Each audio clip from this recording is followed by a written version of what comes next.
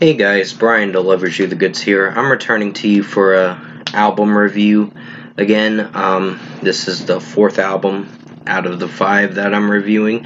The next album review is going to be for an artist I didn't want to review, but I'm going to check it out anyway because I didn't hate the first single that he released, which was for the Travis Scott Utopia that I'll be reviewing next.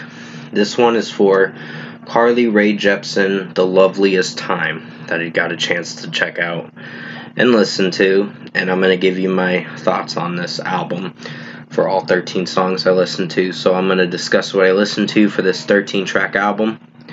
For Carly Rae Jepsen, The Loveliest Time. This is like the sequel to The Loneliest Time and let you know my thoughts on it. So let's dive into this uh, album review. Now, the last album she made, like I said, was The Loneliest Time. I didn't really listen to it, but when I listened to this album, I was very disappointed. I think this is a bad album, honestly. Anything to Be With You was cringe the vocals from Carly Rae Jepsen, I just can't get on board with. It just doesn't sound good, in my opinion. Sorry, that's my brother in law and um, my nephew. They're just uh, acting crazy right now. They're just playing with each other. Not in a weird way, just in a.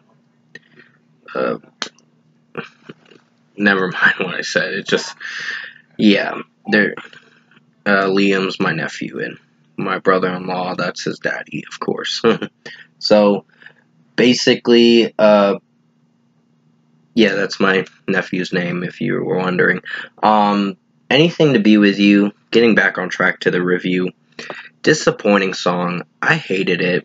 I didn't like how it sounded and how Carly Rae Jepsen's vocals were in it. it just sounded god awful. So two out of five. Kamikaze is okay, not anything great. There's a lot of very bad songs on this album, to be honest. Um, just so you know. But there's a few that are okay. But this album really tanked big time in a bad way. So, 3 out of 5 for Kamikaze. I think it's okay for what it went for, but I just not on board with Carly Rae Jepsen's vocals from time to time. There are some vocal pitches she does that's alright, but other than that, the song is meh after last night. I didn't like her vocals. The song was disappointing. Um, it just sounds so cringy and gubble, bubblegum pop shit. And I'm just not on board with it. So 2.5 out of 5. I mean, the melody just kind of corny. And just Carly Rae Jepsen's vocals not feeling for it. Uh, Aeroplanes, disappointing track 2.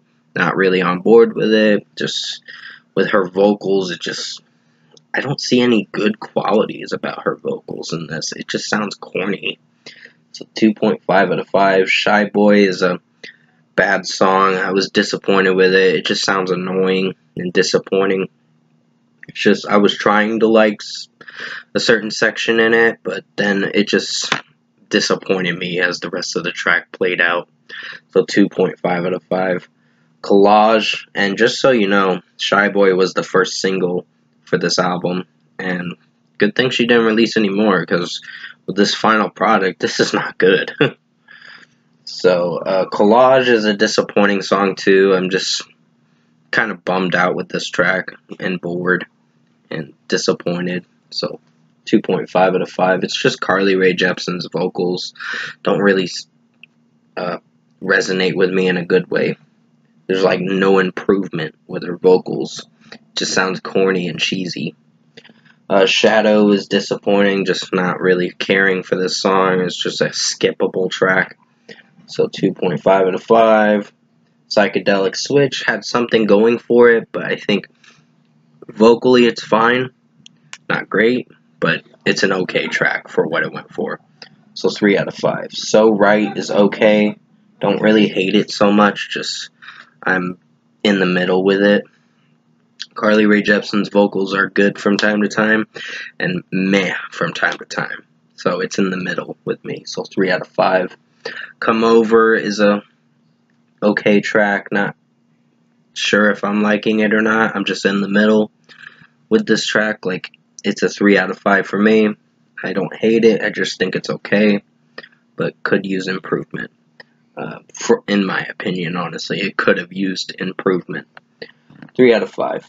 Uh, Put It to Rest is okay. It's probably the last okay track for this album. The last two songs are just boring and disappointing. So, three out of five for Put It to Rest. I think Carly Rae Jepsen's vocals are okay. Not anything mind blowingly amazing, just just not caring for it. Stadium Love is disappointing. Just not feeling for this track with how it sounds mixing wise and Carly Rae Jepsen's vocals don't really resonate with me. So 2.5 out of 5. And finally we get to the last track, Weekend Love. Not a good way to end the album, honestly. It was a bad start and a bad ending. so 2.5 out of 5. Um, overall, production, mixing, and execution wise, didn't really have much to talk about with this album other than the fact that I didn't like it. I was really disappointed with this album, and sorry about the background noise. My brother in law's laughing at what my sister said and all that. So, pretty much for an overall score, I'm giving Carly Rae Jepsen the loveliest time for her new album a 5 out of 10. It was bad. I was really disappointed, and I'm a little afraid for the next album I'm going to be listening to. Sorry about that hit or whatever. I, my pen hit the laptop for a moment.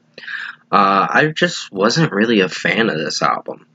I was hoping for something good, like for a pop album, but this just really disappointed me and not in a good way.